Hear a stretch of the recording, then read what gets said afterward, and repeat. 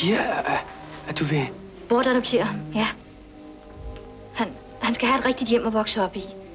Det kan jeg ikke give ham. Men hvem kan så? Det har Peter her en idé om.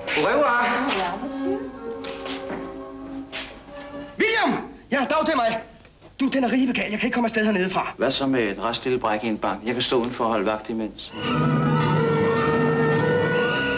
Ebbe Langberg, Dirk Passer og Gita Nørby i Peters Baby. Anden juledag 1930 på TV2. Fra det skotske højland kommer fortællingen om en mand og hans kamp. En kamp for kærlighed. En kamp for fædrelandet. Go back to England and tell them there that Scotland's daughters and her sons are yours no more. Tell them Scotland is free. If we join, we can win. If we win, well, then we'll have what none of us have ever had before. Country of our own. TV2 præsenterer den femdobbelte Oscar-vinder Braveheart. Er og med Mel Gibson. Anden juledag 21.10.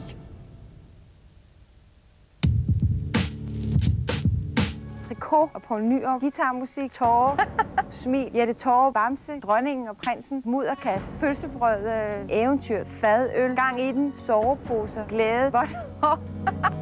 Et tilbageblik på landstævnet 1998 her på TV2 tirsdag aften.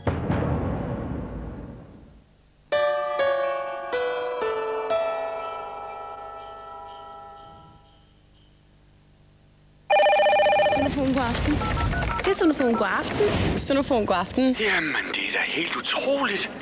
Jamen, hvad mener du? Jamen, jeg mener, det er jo juleaften. Ja, hvad så? Jamen, det er jo derfor, jeg ringer. Jeg troede simpelthen ikke, I sad juleaften. Jo, for tænk nu, hvis der gik kludder med en mobiltelefon, Ja, og man ikke kunne ønske glædelig jul. Nej, ja, det... Jamen, så vil jeg da bare ønske glædelig jul. Tusind tak. Ja. Og så vil jeg også ønske god påske og pinse, for vi er jo hele tiden. Nej, der er ikke en nytårsaften. Jo, Jamen, så glædelig jul og godt nytår. tak i lige måde. Ja. Sonofon, god aften. Fra DreamWorks Pictures kommer en fortælling om magt, I will not be the weak link. om mennesker, Things cannot be as they were. om mirakler.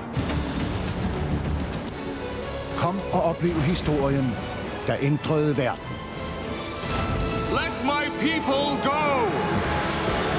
Prinsen af Ægypten, premiere 1. juledag, også med dansk tale.